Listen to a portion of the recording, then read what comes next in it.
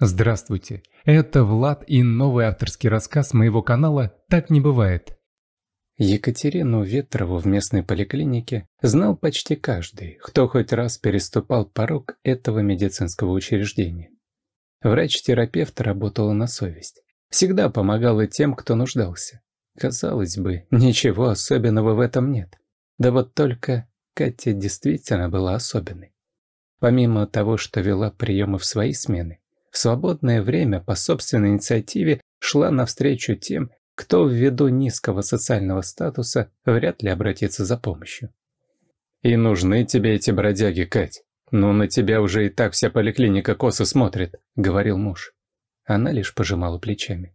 «Ну и пусть смотрит. Они только это и умеют. Можно подумать, я на свалке живу. А пользоваться личным стетоскопом за пределами поликлиники мне никто запретить не может». Вова поморщился. Вот такой была Катя, над которой втайне посмеивались коллеги. Все-таки завистников у нее всегда хватало. Пациента Катерину любили, и при обращении в регистратуру хотели попасть именно к Ветровой. Отчасти такой популярности способствовал видеоблог, который она вела, чтобы дать жителям несколько ценных советов относительно их здоровья. Катю смотрели все, от мала до велика. При этом кто-то, не полагаясь на память, даже конспектировал услышанное. Мало ли, вдруг пригодится. Чего только в жизни не бывает. Сегодня день тянулся как резиновый. Сидя в рабочем кабинете, Катерина то и дело поглядывала в окно. Пасмурно, небо затянуто тучами. Того и гляди, дождь пойдет. «Екатерина Викторовна, а можно я сегодня пораньше домой? Я в пригороде живу, на автобус нужно, а тут погода такая». Зонт-то я сегодня и не взяла», – осторожно попросила медсестра, Оля. Катя оторвала взгляд от рабочих бумаг и согласно кивнула. «Конечно, иди. Тем более день почти закончился. Вряд ли сегодня кто-нибудь еще придет». На губах медсестры тут же заиграла милая улыбка. «Спасибо вам, Екатерина Викторовна. Вы самый лучший врач из тех, с кем я работала». Катя улыбнулась в ответ и снова посмотрела на небо. В тот же миг Серую пелену туч пронзил зигзаг молнии. А через секунду стекла в кабинете задрожали от сильнейшего раската грома. Ольга ойкнула и поспешила к двери. Катерина сокрушенно покачала головой. Попросить бы мужа забрать с работы. Да Вовка, как на грех, подрядился помогать свекрови с ремонтом. Антонине Сергеевне, как обычно, приспичило начать его в самый неудобный момент. У Кати через две недели должен был быть тет. Собрались съездить к морю, хотя бы на пару-тройку деньков. Больше Катя и сама не выдержит. Да и куда ж она без своих уличных пациентов, которые, если нужно, даже домой к ней приходили. Внезапно в дверь постучали. Катя метнула тревожный взгляд на висевшие на стене часы. Пять минут до конца рабочего дня. Для многих из коллег это железобетонное основание закрыть дверь на ключ и пойти домой со спокойной совестью. Но она всегда старалась придерживаться правил. Ведь не зря же их, собственно, установили. «Войдите», — сказала Катерина и невольно обратила взор в сторону вошедшего. Каково же было ее удивление, когда порог кабинета переступил мальчик, лет десяти. «Миша, а ты что здесь делаешь?» Не сдержалась она. На самом деле, Катерина знала этого маленького сироту, который то и дело, сбегая из детского дома, слонялся по городу в поисках чего-нибудь, представляющего для него особую ценность, будь то конфета или свежая выпечка. Она познакомилась с Мишкой у кассы супермаркета, где его поймал охранник с булочкой в руках. В глазах мальчишки застыли слезы. Ведь он был совсем не вор. Так тщательно собираемая малышом мелочь попросту выпал сквозь дыру в кармане видавших виды штанишек. Миша стоял у кассы и размазывал ладошкой слезы по грязным щекам. Катя тогда раздумывала недолго и, решительно подойдя к охраннику, протянула ему деньги за булочку и даже оплатила штраф. «А, ты смотри, какая правильная выискалась. Вот из таких потом и вырастают попрошайки и мошенники. Нечего с детства приучать к такому», – бросил ей кто-то вслед. Но Кате было все равно. Главное, что она помогла этому пареньку. А по большому счету, Такое может случиться с каждым. С тех пор Миша и Катерина стали друзьями. Виделись, конечно, нечасто, но иногда она помогала малышу, покупая сладости ему и его друзьям по детдому. То выпечки небольшой ящик передаст, то фруктов купит. При этом это вовсе не означало, что малыши в детдоме не доедали. Скорее, дело было в другом. Сладости и фрукты для ребят всегда значили больше, чем обычные продукты. Вот их вечно и не хватает. «Привет, Миш. А ты чего пришел? Просто так в гости? Или что-то случилось?» – спросила Катерина. Мальчик как-то странно посмотрел на добрую тетеньку, а потом сказал. «Да проблема у меня. Вернее, не у меня, а у деда Вани. Он на свалке живет. Дяденьку вчера нашел, а тот без сознания. Бредит, жар сильный. Дедушка думает простуда у него, а какие лекарства давать, не знает. Может, придешь, тетя Кать?» Она задумалась. По сути, мальчуган предлагал ей отправиться на городскую свалку, да еще и в такую погоду. Не самое приятное занятие, конечно, что тут скажешь. Миш, а по-другому никак? Может, его к нам в поликлинику? Вдруг рентген легких понадобится. Тетя Кать, ну ты ж знаешь, здоровье у деда Вани пошаливает. Он вообще не бродяга, просто после гибели сына его невестка из квартиры выгнала. И в одиночку мы этого дяденьку ни за что не дотащить. Хотели скорую вызвать, да дорогу перекопали. Еще и дождь этот. В машине ни за что не проехать. Вот такие дела. Так что на тебя одна надежда, взмолился Миша. Катя снова выглянула в окно. Тучи сгущались, и прогулка на мусорку грозила обратиться для нее неприятностями. И все бы так, но после слов мальчика в душе зародилась тревога. А вдруг она есть та самая последняя инстанция, которая может помочь этому бедолаге? Ведь явно не от хорошей жизни он оказался на свалке. Чего только в жизни не бывает. Эх. Ладно, Миш, сейчас пойдем. Если говоришь, что простуда, то в аптеке куплю что-нибудь из лекарств. Конечно, так не делается, но другого выхода, видимо, нет, решилась Катерина и, взяв сумочку, направилась к двери. На губах Мишки появилась довольная улыбка. По его глазам Катя поняла, что он восхищен ее поступком. Катерина знала, родители паренька погибли в аварии. Жили в пригороде. Хозяйство небольшое держали, коровка, куры, гуси. Продавали на городском рынке свою продукцию. Доход небольшой, но в то же время стабильный. В тот роковой день стоял туман. Соседка уговаривала не ехать. Твердила, что сон плохой видела. Нельзя ведь приметы игнорировать. Но Анна и Александр Звонаревы в приметы не верили. Поехали все равно. Ну как же пропустить рыночный день? Торговля в самом разгаре. Мечтали ремонт в домике провести. Сынишке-то три года всего исполнилось, а детской комнаты все еще не было. Соседка плакала, отговаривала, да куда там. Поехали в туман навстречу своей гибели, представшей перед ними в виде грузовика, выехавшего на встречную полосу движения. Папа Миши погиб сразу. Мама Провела в коме чуть больше недели. И только тогда ушла в мир иной вслед за мужем. Соседка Клавдия Ивановна пыталась оставить малыша у себя. Но сотрудники социальной службы отказали. Сослались на возраст и слабенькое здоровье, которое действительно давало о себе знать. Так Миша Звонарев оказался в детском доме, где воспитывался и по сей день. Среди воспитателей он слыл мальчиком способным. Участвовал в художественной самодеятельности, спортивных состязаниях. Правда, осуществить последнее было довольно проблематично, поскольку спортплощадка за зданием детдома находилась в крайне плачевном состоянии. Но Мишка не унывал. Тренировался в городском парке, где бегал на перегонки с вездесущими белками, преследующими маленького спортсмена по веткам деревьев. Из состояния грустной задумчивости Катю вывел раскат грома над головой. От неожиданности Мишка подпрыгнул и с обидой посмотрел на небо. «Не бойся, дружок, все обойдется. Погремит, погремит и перестанет», — улыбнулась Катя и прибавила шаг. По пути они заглянули в аптеку, где она купила препараты, которые, исходя из своих знаний и опыта, считала незаменимыми при лечении любой простуды. Решив сократить путь, Катерина взяла мальчугана за руку и повела к автобусной остановке. Так надежней. Пока доедут, может и дождь пройдет. Зато крыша над головой будет. А в случае чего, можно выйти на любой остановке и переждать непогоду. Вокруг все громыхало и сверкало, но дождя почему-то не было. Казалось, воздух буквально наэлектролизован энергией, которая все еще никак не могла найти выход в виде тонн влаги, жаждущей обрушиться на город.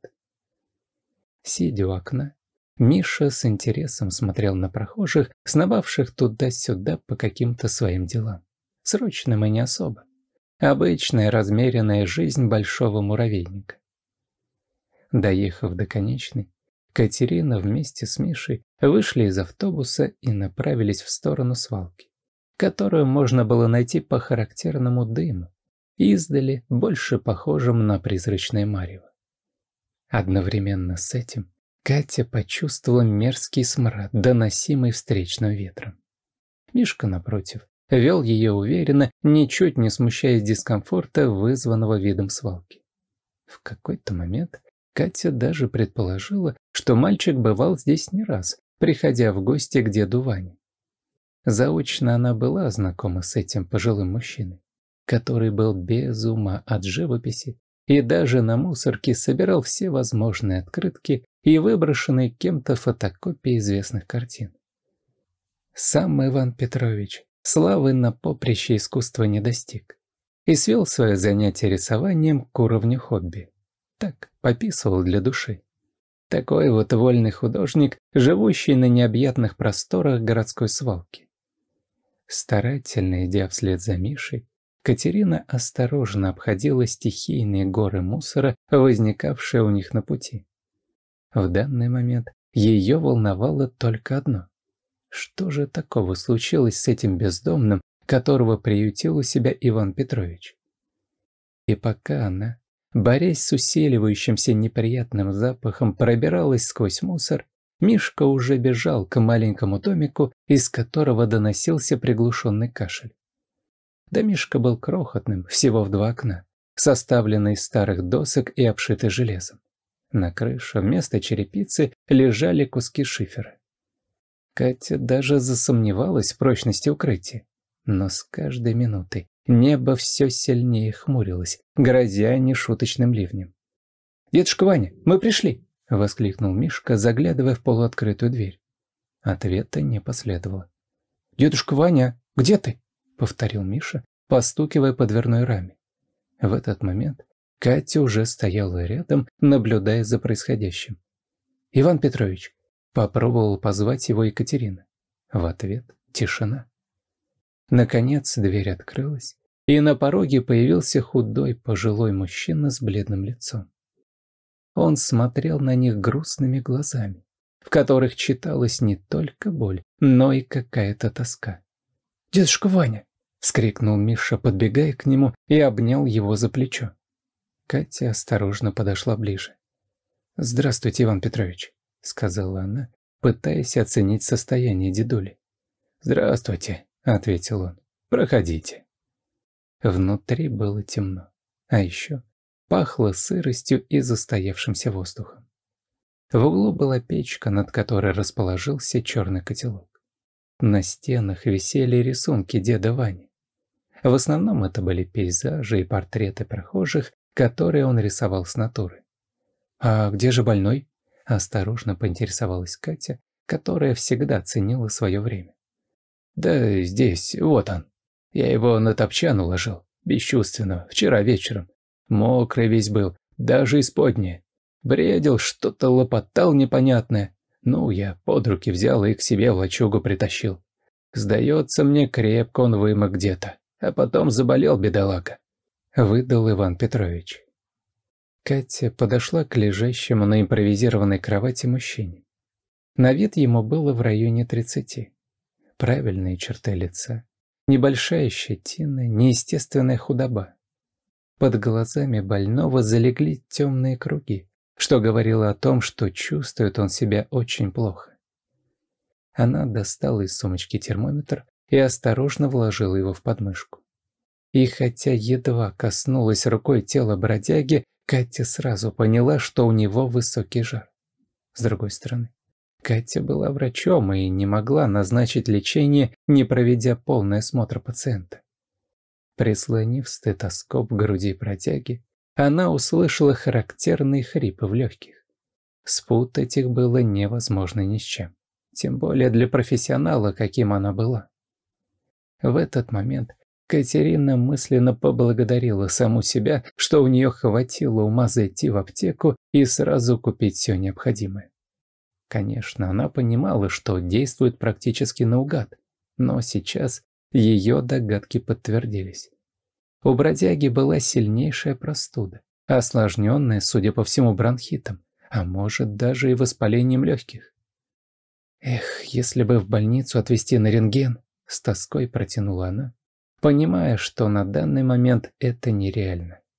Во-первых, клиника уже не работала, а во-вторых, этот бродяга был практически нетранспортабелен. «Да я понимаю, Катюш, но вы уж сделайте что-нибудь, пожалуйста. Я старался ему лекарства кое-какие давать, чаем с малиной поил, да и все без толку», — взмолился Петрович. «А я меда принес», — добавил Мишка. Но Катерина лишь покачала головой.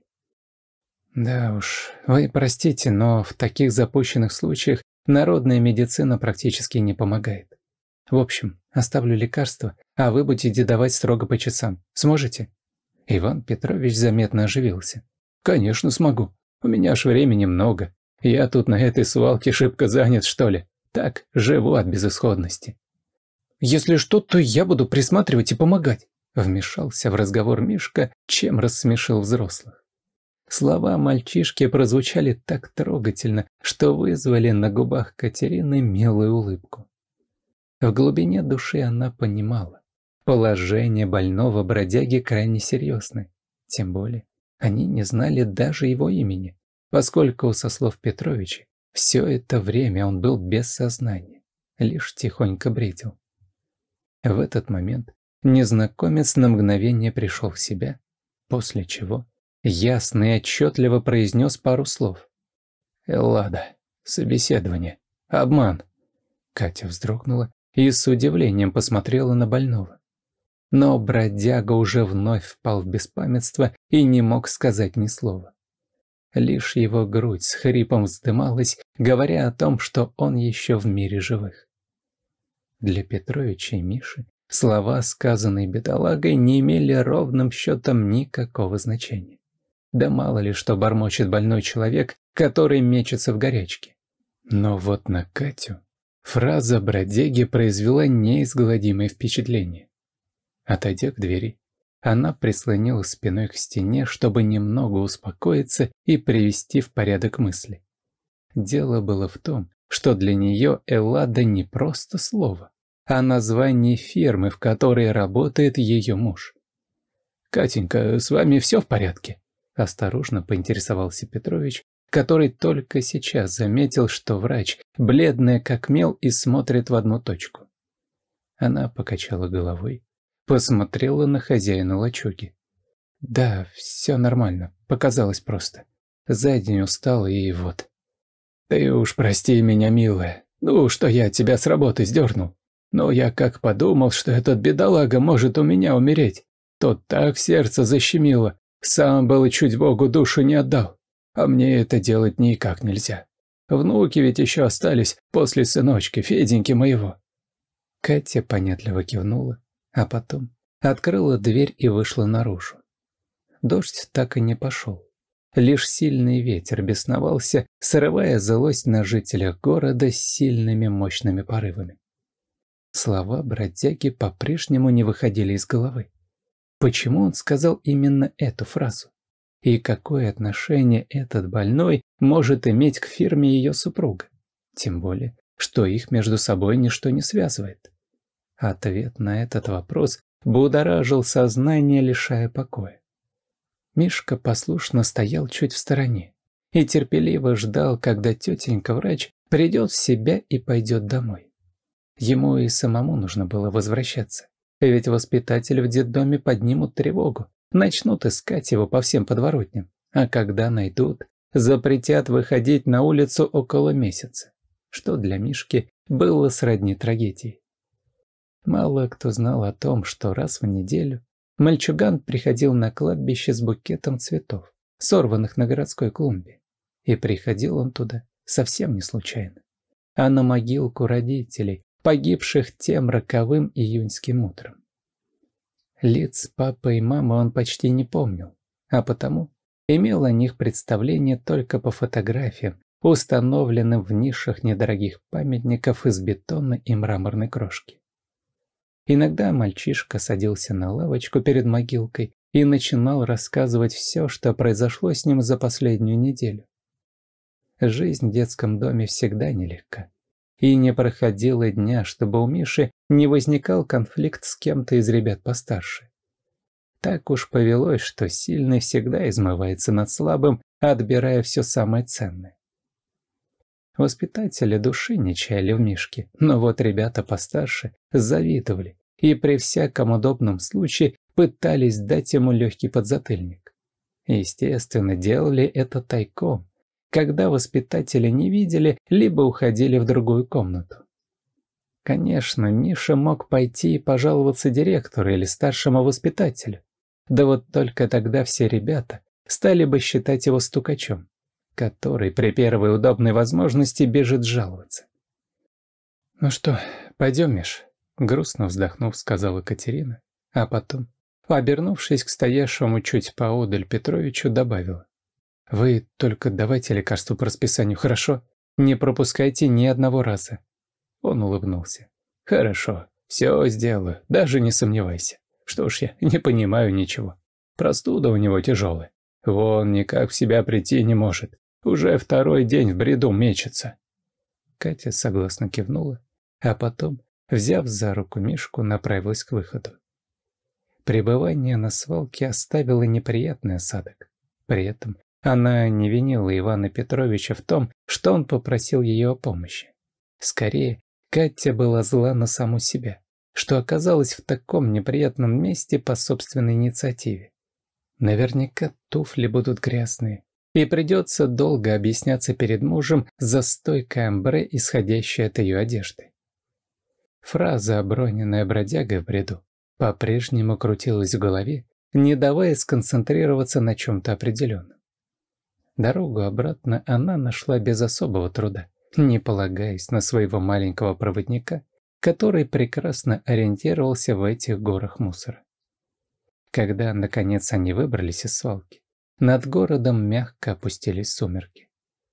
Катя украдкой посмотрела на экран смартфона, но входящих звонков либо уведомлений от Володи не было. Она обидчиво поджала губы. Это что же получается? Муж вообще не заметил ее отсутствие. Хоть бы смс-ку прислал, либо пары слов перекинулись. В глубине души зародилась обида, подогреваемой искоркой подозрений. В последнее время ее супруга будто подменили. Он стал каким-то холодным, отстраненным, часто запирался в рабочем кабинете, подолгу сидя за столом. Поначалу Катерина списывала это на проблемы в работе, которых у мужа всегда хватало. А потом узнала от коллег Вовы о том, что в компании дела идут более чем прекрасно. Жаловаться не на что. Вот только как же объяснить тогда позднее возвращение Володи домой, когда стрелка настенных часов близится к полуночи? По совету подруги Наташи, она не один раз проверяла воротники рубашек мужа, в расчете увидеть на них следы губной помады либо ощутить аромат женских духов. Но ничего такого не было. Так чем же тогда объяснялась неприятная холодность его стороны? Неужели он все-таки нашел женщину на стороне и тщательно ее скрывает, наслаждаясь прелестями мимолетного романа? Понимая, что в такое позднее время дождаться автобуса уже нереально, Катя решила вызвать такси. Так будет намного удобней. Мишка попадет в детский дом вовремя, а уставшая за день Катерина сможет немного отдохнуть, сидя на заднем пассажирском сиденье и поглядывая в окно. Дождь в этот день так и не пошел. в воздухе сильно пахло влагой. В небе бесновались громы молнии, но дождевые тучи обошли город стороной. В какой-то мере Катя даже испытала облегчение. Ведь пару дней назад синоптики объявили штормовое предупреждение для их региона.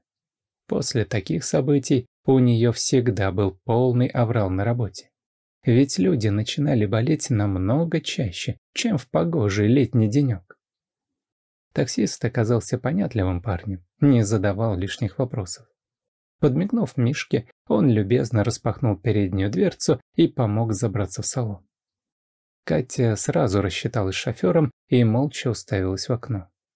Миша чувствовал, что с его знакомой творится что-то непонятное. Но в силу своего малого возраста он так и не мог догадаться, в чем было дело. Мозг Кати по-прежнему буравила одна и та же фраза. Название фирмы ее мужа. А еще, почему этот незнакомый бродяга был мокрым с ног до головы? Ведь дождя в этот день не было, и Катя знала это наверняка. Так промокнуть можно только на реке, которая разделяет их город пополам и уходит куда-то вглубь необъятной родины. Первой Катя завезла Мишу в детдом.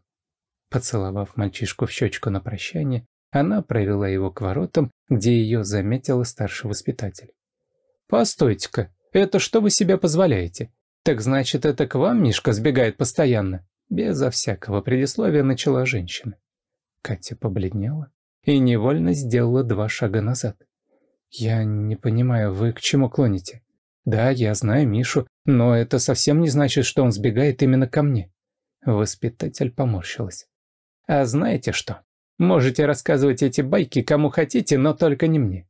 Я знаю, что несу ответственность за Михаила, и в случае чего нам всем воспитательским составом намылят шею, а в самом плохом случае отдадут под суд. Тамара Ивановна, ну зачем вы так? Пытаясь разжалобить воспитателя, принялся конючить Мишка. Но на нее это не произвело никакого эффекта. Тамара Ивановна неприязненно смотрела на Катю, словно это она была виновницей всех бед. Настроение у Катерины испортилось окончательно. Да, не на такой прием она рассчитывала в детском доме. Тем более, она действительно была не виновата в том, что Миша обратился к ней за помощью. Да и вообще, если они здесь все такие правильные и умные, то почему воспитанники сбегают у них средь бела дня и слоняются по городу, рискуя влипнуть в неприятности?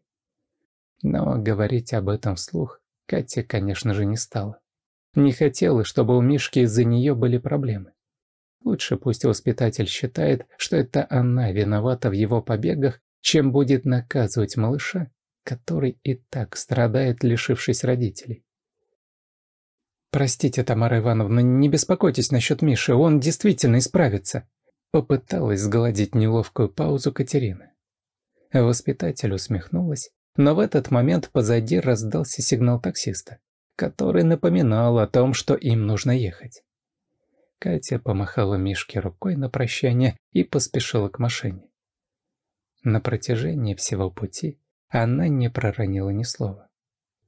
Время от времени, поглядывая на нее в зеркало заднего вида, водитель терялся в догадках относительно ее работы.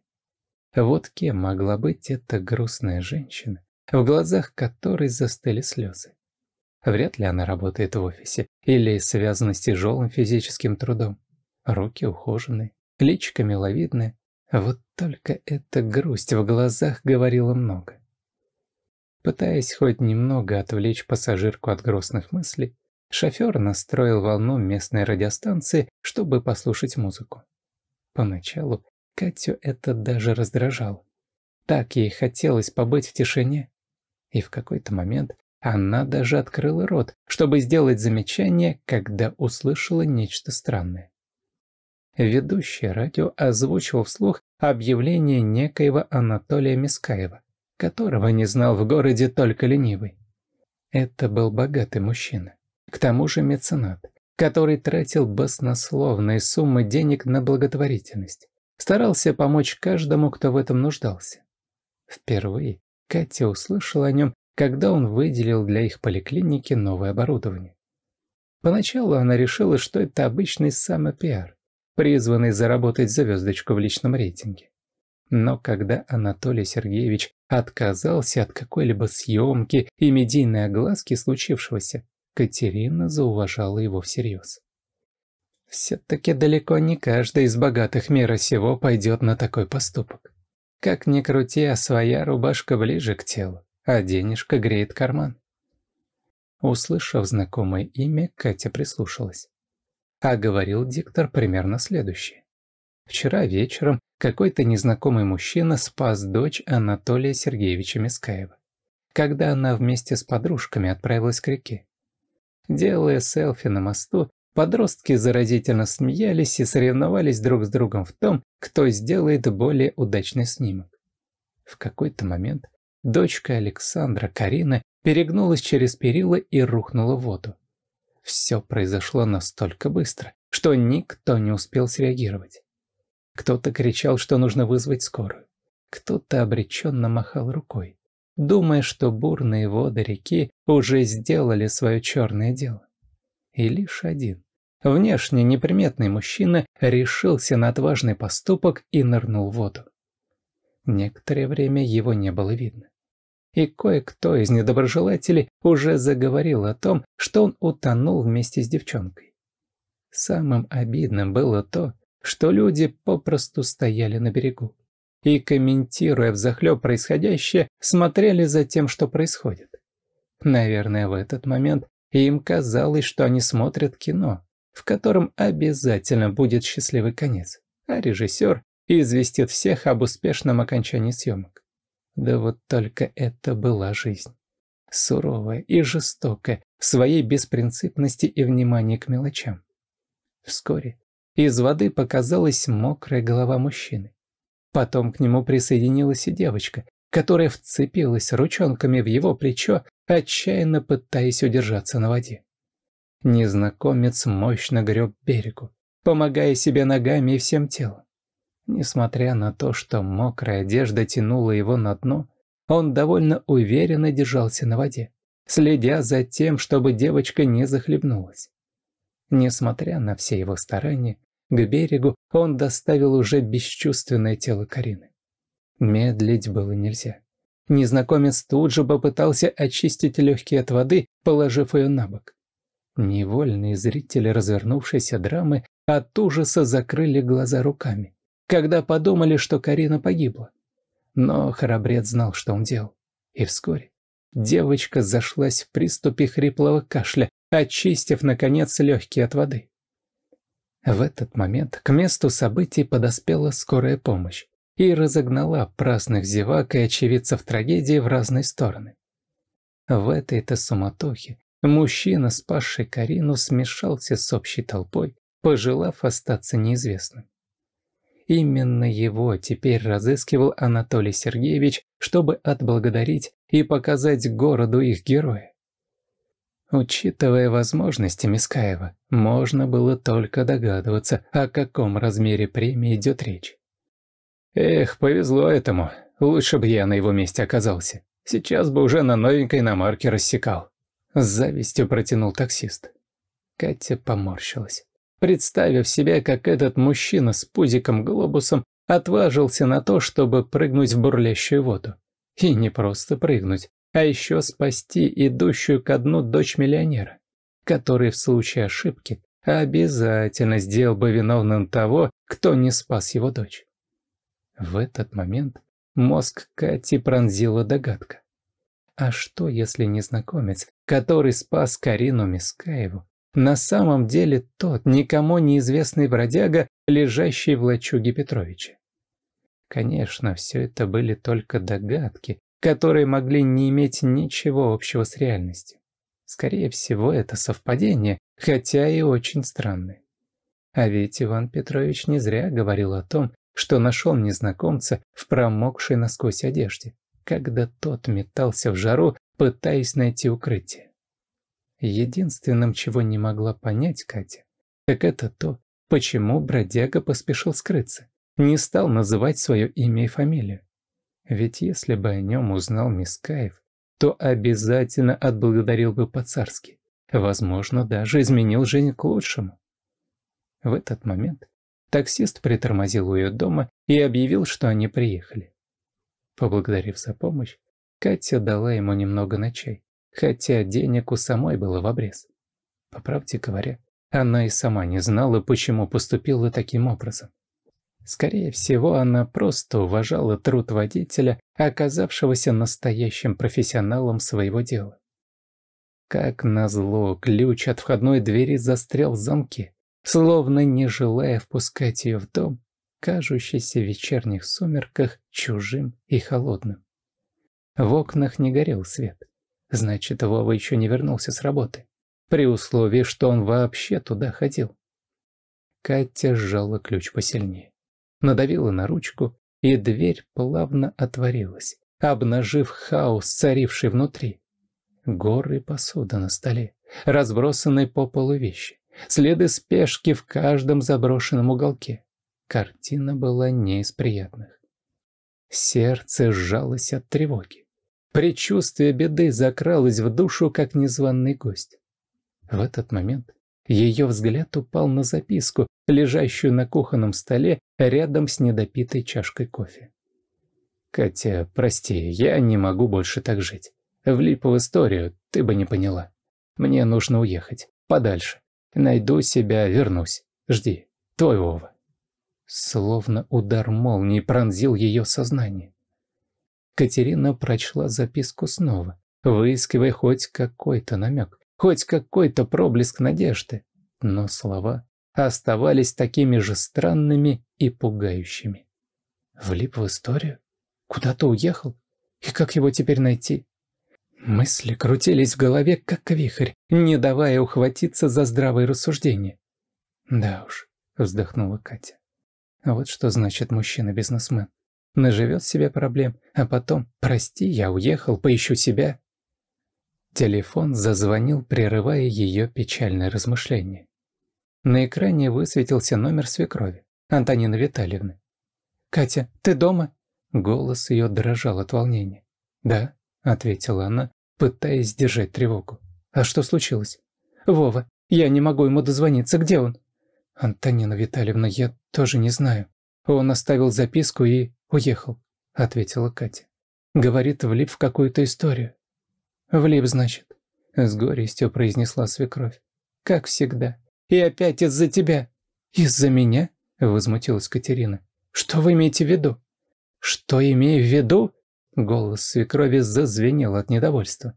«Ты не можешь дать ему то, что ему нужно. Дети, покой, уют в доме. Ты плохая жена, плохая хозяйка». Катя вздрогнула. Она и раньше знала, что свекровь недолюбливает ее. Антонина Витальевна всегда считала ее недостойной единственного сына. Но чтобы всю вину в уходе Вовы свалить на нее? Как вы можете так говорить? Я вообще-то на работе весь день была. «А Володя? Он ведь должен был к вам приехать, чтобы помочь с ремонтом!» Растерянно прошептала Катерина. «А как я должна говорить?» – прошипела Антонина Витальевна. «Ремонт? Да Вовка просто бежит от тебя!» Но Катя пыталась вспомнить прежние слова свекрови. «Вы же сами говорили, он должен жить для себя, строить карьеру». «Да», – перебила свекровь. «Но он должен жить для себя и заботиться о своей матери, а ты его только отвлекаешь». Катя не могла больше слушать. Руки ее дрожали, а в голове все кружилось от тревожных мыслей. «Антонина Витальевна, я не хочу с вами спорить. Не знаю, что произошло с Вовой и не знаю, где он сейчас, но прошу вас, не делайте из меня козла отпущения». «Ух ты, как заговорила!» – раздался холодный смешок. «А кто я в этой истории? Думаешь, я хочу жить в одиночестве? Я хочу видеть своего сына». «И что мешает?» – спросила Катя. Он всегда был рядом.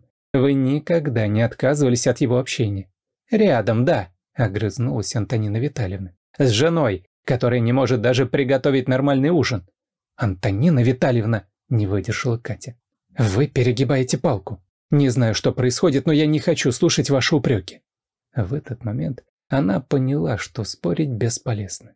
Свекровь жила в своем мире, полном традиционных ценностей и незыблемых устоев. И в этом мире не было места для свободы выбора, для независимости и самореализации. «Антонина Витальевна», — сказала Катя с усталостью в голосе, — «я не знаю, что будет дальше. Не знаю, где Вова и как его найти, но прошу вас, дайте мне время во всем разобраться». «Время?» Та холодно усмехнулась. «У тебя его не так много, как ты думаешь». «И что вы предлагаете?» – спросила Катерина. «Сколько еще я должна терпеть ваши упреки?» «Ты о чем, дорогуша? Ты должна не терпеть, а действовать, чтобы как можно скорее вернуть Вову домой». «Как?» – спросила Катя. «Как я могу его вернуть, если даже не знаю, где он сейчас?» «Вот и найди его», – отрезала свекровь. «Вспомни всех его друзей, знакомых, всех его бизнес-партнеров. Позвони им, напиши СМС, но найди его. Иначе ты ничего не можешь в этой жизни. Ты – полное ничтожество». Катя не ответила. Сбросила звонок. Она отвернулась и пошла в комнату. Ей было так больно и обидно. Она вложила в этот брак все свои силы, все чувства, но свекровь не хотела видеть ее счастье. Антонина Витальевна хотела видеть только своего сына, чтобы чувствовать свою власть над ним. «Как же я тебе не даю счастья», – прошептала Катя. «Разве я не любила тебя? Разве не давала все, что было в моих силах?» Она подошла к окну и взглянула на темную улицу. Ветер шумел за стеклом, словно отражая ее внутреннюю бурю. «Что же теперь делать?» – спросила она шепотом. «Как найти Володю?» В этот момент ее взгляд задержался на маленькой записке, лежащей на столе. Перечитала. Но ситуация все равно оставалась неясной.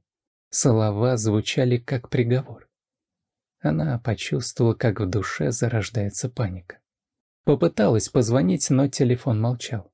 Она не знала, что делать. Куда идти? Кого просить о помощи? «Ну что же я тебе плохого сделала? Почему ты сбежал?» Шепотом спрашивала сама себя Катя. С трудом взяв себя в руки, она решила, что утро вечера мудренее. Ну что толку с того, что она будет истязать себя мысли о загадочном бегстве? Наспех приняв душ, Катерина теперь мечтала только об одном – уснуть, раствориться в пушистой безмятежности сна, где не было бы ни тревожных звонков, ни спешных хождений по палатам, ни бесконечной борьбы за жизнь больных пациентов. Но мысли, как незваные гости, упорно не давали покоя. Она провела рукой по прохладной поверхности подушки, попыталась закрыть глаза, но сон упорно не хотел приходить. Внезапно воспоминания о том дне, когда она впервые увидела своего будущего мужа, хлынули неудержимым потоком. Катя вспомнила тот проливной дождь, который лился несколько часов, превращая город в бесконечное водяное зеркало, отражающее бледные огни фонарей. Случилось это в поезде. Она ехала на конференцию в столицу. До мегаполиса оставалось еще несколько часов, когда Катерина услышала громкий смех неподалеку. Она выглянула и заметила Вову который сидел на пороге тамбура и шутил с другими пассажирами. Незнакомец был в спортивном костюме, яркой футболке и веселыми глазами. Он рассказывал какую-то историю про то, как потерял свою дорожную сумку на вокзале, и все смеялись. Катя стояла и смотрела на парня, удивленной его неиссякаемой энергией. Она не могла вообразить, как можно быть таким жизнерадостным в такой утомительной поездке? Но незнакомец был улыбчивым, и это ее в нем привлекало. Она хотела было уже вернуться в купе, когда услышала за спиной. «Привет, у тебя такой вид, словно я тебя чем-то удивил». Она оглянулась и увидела, что незнакомец в Олимпийке стоит прямо у нее за спиной и улыбается своей ослепительной улыбкой. «Да, есть немного», улыбнувшись, сказала Катя. Не могла поверить, что ты можешь быть таким веселым в этой поездке. А что такого? Удивился Вова. Думаешь, в поезде нельзя ехать с комфортом? Ну, я так не думаю, ответила Катя. Но я сама чаще всего сплю во время поездки. А ты куда едешь? Спросил Вова. На конференцию, ответила она. Я врач, зовут Катя. Ого, как интересно. А я тоже в столицу. Я бизнесмен. Владимир Ветров. Бизнесмен? Катя остолбенела. Она была уверена, что Вова учится в институте, ведь он был такой молодой. Ну да, а что такого? Продаю украшения и ювелирные изделия. Украшения? Катя не могла поверить своим ушам. «У тебя есть свой магазин?» «Нет», — ответил Володя. «Я продаю их в интернете. У меня свой сайт. Хочешь посмотреть?» «Конечно», — ответила Катя. «Интересно». Они провели все оставшееся время вместе. Володя рассказывал ей о своем бизнесе, о своих мечтах, а Катя слушала, наблюдая за ним с увлечением. Ей нравилась его энергия и жизнерадостность.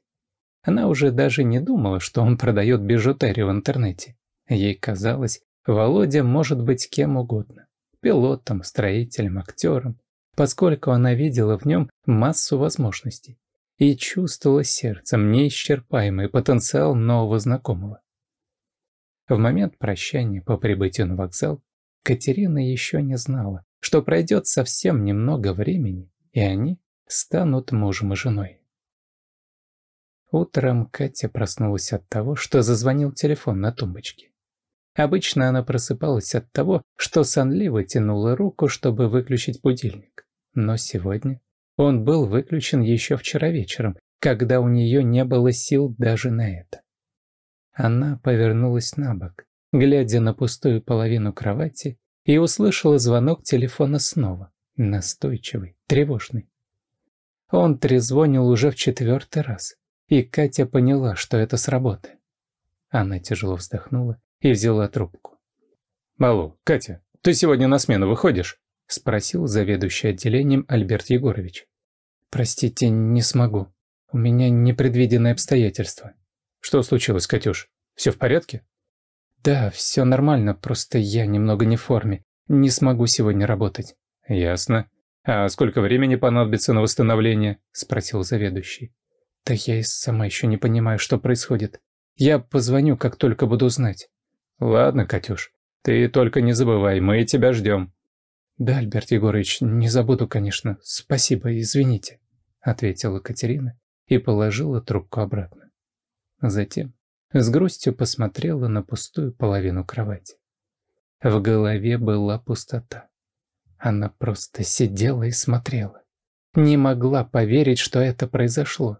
Ее муж, любимый, ушел, просто взял и ушел, не оставив ни слов объяснения, ни шанса на изменение решения. Вспомнилась свадьба.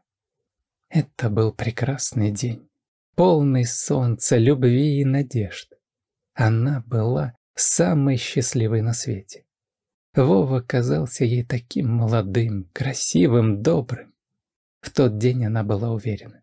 Вместе они будут всегда а первые годы брака. Это же были годы любви, полные радости и надежд. Они много путешествовали, строили планы на будущее. А еще у них появился прекрасный дом. Но в последнее время что-то изменилось. Вова стал более закрытым, отстраненным. Много работал, поздно приходил домой, а потом погружался в себя и будто не замечал ее. Катя пыталась заговорить с ним, но он все отшучивался. Рассказывал, что просто много работы и очень устал. Она пыталась быть понимающей, не давила на него.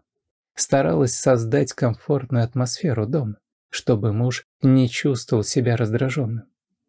Она даже сделала ремонт в спальне, купила новый диван, поменяла шторы. Но ничего не помогало. Вова все больше отдалялся. Наверное, я его просто не знала. Сказала Катерина еще раз вслух, как бы убеждая себя в этом. Она поднялась наконец с кровати и пошла в ванную умыться холодной водой, привести себя в чувство. Посмотрела в зеркало. В отражении была молодая красивая женщина, но в глазах ее читалась боль и пустота. «И что теперь?» – спросила она себя вслух. Ответа на этот вопрос не было. А потом в дверь тихонько постучали. Катя вздрогнула и пошла открывать, думая, что вернулся муж. «Мишка?» – спросила она, едва узнав мальчишку, который стоял на пороге. «Здрасте, тетя Кать», – ответил он, нерешительно переминаясь ноги на ногу. «Я, извините, что так рано утром, в больнице ваш адрес узнал. Что случилось? Спросила Катерина, чувствуя, как в груди сжимается предчувствие чего-то нехорошего. Тот дяденька, который вчера, он проснулся. Ну, как это? Спросила Катерина, пока еще не понимая ничего. Дед Ваня говорит, что он с утра очнулся. Мишка, как всегда, говорил со взрослым серьезным видом.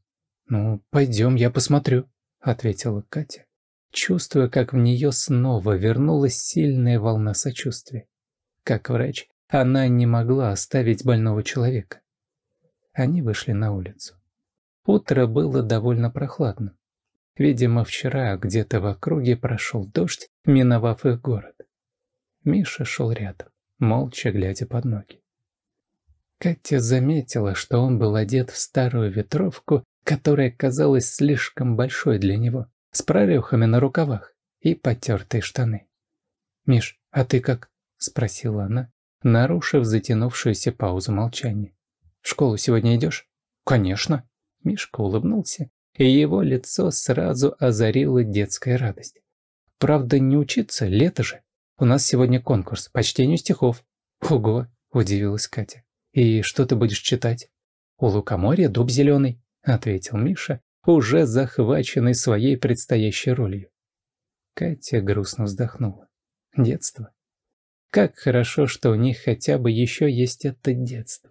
С его простыми радостями, с мечтами и с верой в сказки. Через несколько минут показалась свалка. Хоть она и была здесь вчера, но все еще не могла смириться с мыслью, что всего в нескольких метрах от нее существует такое место, где люди живут в нищете и отчаянии. «Иван Петрович, вы дома?» – спросила она, входя в лачугу пожилого художника. «Да, я здесь», – ответил тот, выходя из комнаты с ложкой в руках. «Как там наш пациент?» – спросила Катерина, переводя взгляд на бродягу, который сидел на стуле. «Как видишь, живой», — ответил Петрович, показывая ложкой в его сторону. «С утра очухался, как ни в чем не бывало». Катя сделала шаг вперед, рассматривая бездомного. Он был высокий, худой, с тревогой в глазах. На нем была грязная куртка, протертые штаны и стертые ботинки. «Здравствуйте», – прошептала Катерина, не зная, что еще сказать. «Добрый день», – ответил бродяга, взглянув на нее большими грустными глазами. «Спасибо, что спасли меня. Мне сегодня заметно легче». «Да не за что», — ответила Катя, неловко опустив глаза. «Я просто делала свою работу». «А как вас зовут?» — спросил незнакомец, осторожно вставая со стула. «Катя», — ответила она, несколько смущаясь от этой просьбы. «А вас?» «А я Андрей», — ответил бродяга. «Просто Андрей». «Хорошо, Андрей». Катя улыбнулась, чувствуя, как к ней возвращается обычное расположение духа. «А что с вами случилось?» «Андрюш, ты расскажи, Катюше, что с тобой на днях произошло», — предложил Петрович, кивнув бродяге, который сидел сутулившись. Тот, сжав и разжав пальцы, словно перебирая невидимые бусины, с трудом начал свой рассказ. «Знаете, я уж думал, жизнь меня совсем бросила. Давно уже не было работы. А сил таскать коробки или убирать мусор все меньше. Да и не везде берут. Катя кивнула, понимая. Ну а пару дней назад, продолжил Андрей, я увидел объявление. Фирме «Лада» требуются грузчики. Подумал, может, все-таки получится. Андрей встал и сделал несколько шагов по комнате, будто перебирая в памяти события. Пришел я, значит, заполнил анкету, а потом меня вызывает такой, ну, начальник отдела, наверное. Владимир Иванович Ветров, а вот так его звали. В костюме, в галстуке, с перстнем на пальце. И лицо, знаете, такое заносчивое, надменное. Красотка возле него все это время крутилась какая-то. В этом месте Андрей сделал паузу, словно вновь переживая те неприятные минуты. А вот Катя в этот момент едва не лишилась чувств. Ведь это был ее муж с какой-то красоткой. Господи, неужели это правда? Тем временем Андрей продолжал. Ну, он меня и спрашивает, какое образование? Я сказал, что окончил школу, потом техникум, ну, как и все. Но оказалось, этого недостаточно. Неужели? Удивилась Катя, с трудом сдерживая злость. Да, затем принялись насмехаться. Ну и прогнали. Мол, нам такой грузчик и даром не нужен. И что было потом? Едва не плача спросила Катерина, которой на самом деле было уже не до вопросов. Теперь-то она уже поняла, куда пропал ее Вовка и о каких проблемах он упоминал в записке. А потом, потом я пошел к реке. Просто так, успокоиться. Рыбу в тихом заливе половить или раков. Но когда подходил, заметил, что девчонка с моста упала. Ну, я бросился ее спасать. По щеке Кати скатилась слеза. Это была Карина Мискаева, дочь миллионера Анатолия Мискаева. Он ищет спасителя своей дочери, где только можно. Андрей, казалось, не верил своим ушам. И я... Но это же... Он замялся. Это же случайно вышло. Случайно? Катя усмехнулась. Да это судьба. Ты ведь не просто спас девочку. Ты спас дочь богача. Андрей молча смотрел на нее, словно не понимая, что делать дальше. «Ты должен обратиться к Мискаеву», — сказала Катя. «Он должен знать, кто спас его дочь». Андрей вздохнул. В его глазах мелькнула тень смущения. «Я не знаю», — пробормотал он. «Я ведь просто помог и не хотел ничего взамен». «Андрей», — Катя взяла его за руку, — «ты заслуживаешь награды. Ты спас жизнь человека, рискуя своей и должен получить то, что полагается тебе по праву». Он смотрел на нее, а в его глазах была мольба. «Я не могу». «Ты должен!» Катя, встав, шагнула к двери. «Я все объясню. Просто доверься мне». В ту же секунду она вышла из лачуги, оставляя Андрея в замешательстве. А через несколько часов к лачуге Петра Ивановича приехал кортеж. «Андрей, выйдите ко мне, пожалуйста», прозвучал чей-то властный голос. Бродяга вышел на улицу и увидел высокого осанистого мужчину в дорогом костюме. «Здравствуйте», — поприветствовал гостя он. «Я Анатолий Мискаев», — представился бизнесмен, протягивая руку. «Спасибо вам огромное за спасение моей дочки». «Да не за что», — ответил парень, пожимая руку. «Я хочу вас отблагодарить», — настоял Мискаев и готов предложить вам все, что угодно». «Спасибо, конечно», — ответил Андрей. «Но мне ничего не нужно». «Не скромничайте», — улыбнулся бизнесмен. «Я знаю, что это не так. Поэтому готов предложить вам новое жилье и работу». «Новое жилье?» — удивился Андрей. «Да», — подтвердил Мискаев. «Все верно. И еще много чего другого». «Спасибо, но как-то неловко. Кто вы, а кто я?» «Но ведь вам нужна крыша над головой», — настаивал бизнесмен. «Поэтому не отказывайтесь. Считайте этот вопрос решенным». «Спасибо», — повторил Андрей, с трудом сдерживая слезы. «Договорились», — сказал Мискаев. «Тогда не прощаемся и до новых встреч. Мой управляющий решит все вопросы». Впоследствии бизнесмен сдержал свое слово. Он предоставил бродяге работу в своей фирме, где тот стал начальником складского хозяйства. Это была хорошая, спокойная работа, которая позволяла чувствовать себя уверенным в завтрашнем дне. Так и не дождавшись сбежавшего мужа, Катя оформила развод и связала свою жизнь с Андреем. Как выяснилось, Володя в записке соврал и сбежал не один, а с любовницей, уговорившей его пойти на должностное преступление ради кругленькой суммы. Дом, подаренный миллионером Мискаевым, был очень уютным. Большая кухня, где они сидели вечерами, разговаривая обо всем на свете. Большой зал, ванная комната и спальня, которая была их убежищем, местом любви и нежности. Через несколько месяцев Катерина и Андрей сыграли скромную свадьбу. Не было пышного торжества, только ближайшие друзья и родственники. И, разумеется, Петр Иванович с Мишкой. Но это была самая счастливая свадьба. Катюш, Андрей взял ее за руку. Мы так часто говорили о ребенке.